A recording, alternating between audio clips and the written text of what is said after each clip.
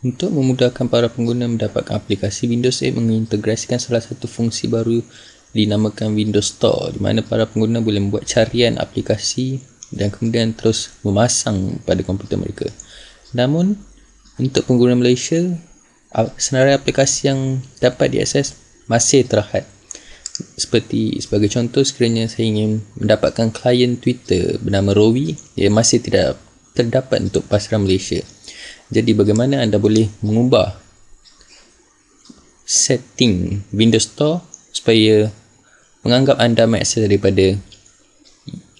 Amerika Syarikat ataupun US. Jadi untuk mengubahnya anda hanya perlu ke Chamba dan melalui search cari location pada bahagian setting dan seterusnya tukar lokasi anda dari Malaysia ke negara lain sebagai contoh US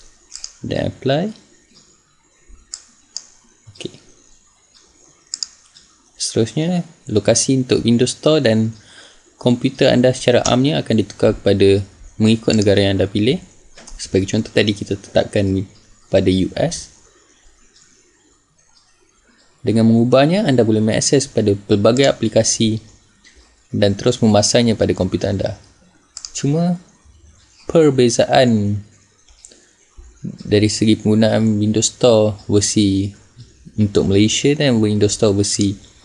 US adalah di mana sekiranya anda mengakses pada bahagian Malaysia anda akan melihat aplikasi-aplikasi tempatan tersenarai sebagai aplikasi yang dicadangkan sebagai contoh sekiranya di Malaysia USA Today ni tidak akan diperlihatkan tapi akan diperlihatkan dengan The Star Online dan penggunaan harga pula untuk Malaysia ia akan menggunakan RM manakala sekiranya kita menukar kepada US ia akan memperlihatkan dalam bentuk USD